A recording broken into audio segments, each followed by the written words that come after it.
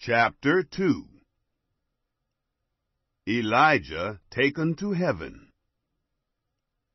It happened, when Yahweh would take up Elijah by whirlwind into heaven, that Elijah went with Elisha from Gilgal. Elijah said to Elisha, Please, wait here, for Yahweh has sent me as far as Bethel. Elisha said, As Yahweh lives, and as your soul lives, I will not leave you. So they went down to Bethel. The sons of the prophets who were at Bethel came out to Elisha and said to him, Do you know that Yahweh will take away your master from your head today? He said, Yes, I know it. Hold your peace. Elijah said to him, Elisha, please wait here, for Yahweh has sent me to Jericho. He said, As Yahweh lives, and as your soul lives, I will not leave you. So they came to Jericho. The sons of the prophets who were at Jericho came near to Elisha and said to him, Do you know that Yahweh will take away your master from your head today? He answered, Yes, I know it. Hold your peace. Elijah said to him, Please wait here, for Yahweh has sent me to the Jordan. He said, As Yahweh lives, and as your soul lives, I will not leave you. They both went on.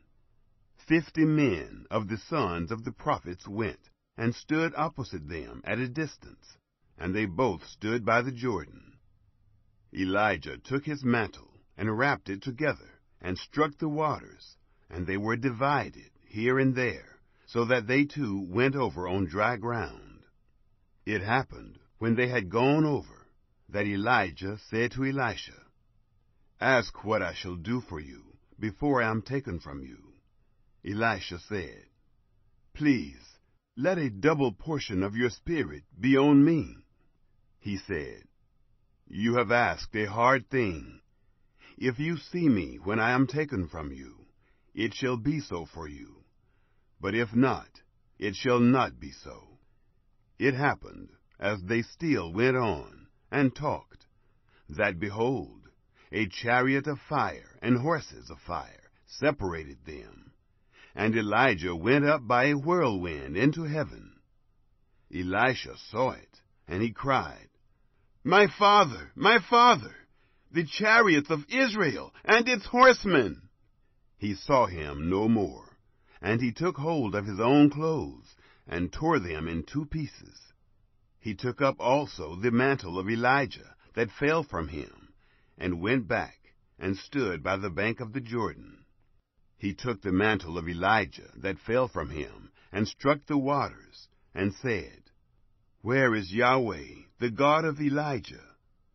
When he also had struck the waters, they were divided here and there, and Elisha went over. Elisha succeeds Elijah. When the sons of the prophets who were at Jericho over against him saw him, they said, The spirit of Elijah rests on Elisha. They came to meet him, and bowed themselves to the ground before him. They said to him, See now, there are with your servants fifty strong men. Please, let them go and seek your master. Perhaps the Spirit of Yahweh has taken him up and put him on some mountain or into some valley. He said, You shall not send them. When they urged him until he was ashamed, he said, Send them. They sent, therefore, fifty men, and they searched for three days, but didn't find him. They came back to him while he stayed at Jericho, and he said to them, Didn't I tell you, don't go? Elisha heals Jericho's waters. The men of the city said to Elisha, Behold, please, the situation of this city is pleasant, as my Lord sees, but the water is bad, and the land miscarries. He said, Bring me a new jar, and put salt in it. They brought it to him. He went out to the spring of the waters, and threw salt into it, and said, Thus says Yahweh, I have healed these waters. There shall not be from there any more death or miscarrying.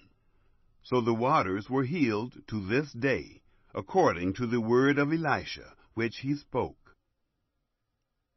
Elisha mocked. He went up from there to Bethel. As he was going up by the way, some youths came out of the city and mocked him, and said to him, Go up, you baldy! Go up, you bald head! He looked behind him and saw them, and cursed them in the name of Yahweh. Two female bears came out of the woods, and mauled forty-two of those youths. He went from there to Mount Carmel, and from there he returned to Samaria.